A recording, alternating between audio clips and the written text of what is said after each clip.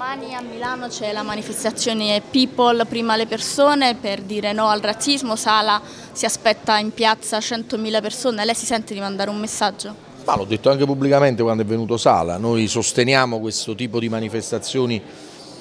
contro il razzismo, contro le discriminazioni, contro la xenofobia, sarà molto bello se domani ci dovessero essere 100.000 persone per le strade di Milano, queste sono le immagini che vogliamo e su questa strada si lavora insieme per costruire un'Italia più coesa che valorizza tutte le autonomie, certo non le autonomie differenziate.